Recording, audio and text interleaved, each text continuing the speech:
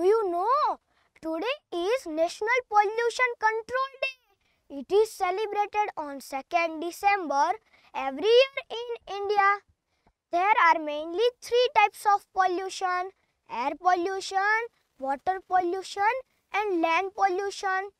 The pollution is harmful to the human, animal, environment, and the most dangerous problem is global warming problem. It is tribute to the demised lives in Bhopal gas tragedy. On 2nd December 1984, a very unfortunate industrial gas leakage incident happened in Bhopal. It was one most of the industrial pollution disaster. Air pollution is harmful. It is bad for all living beings. Air and water pollution are worst. These spoil our air and water. Hello everyone.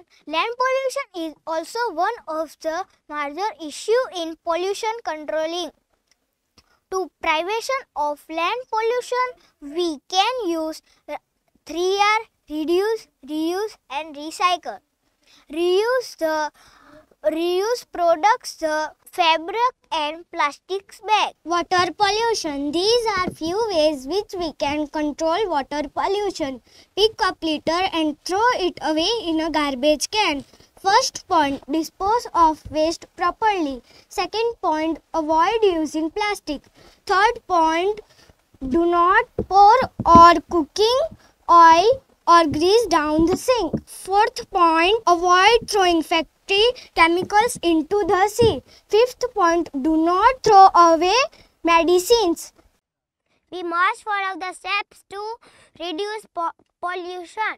Number first, walk or ride bicycle if possible. Number two, use public transportation. Number three, don't burn garbage. Number four, don't use plastic bags. Number five, plant more trees. The future of the environment is our hand only. I will request you all take a pledge and adopt positive initiatives to protect our environment. Thank you.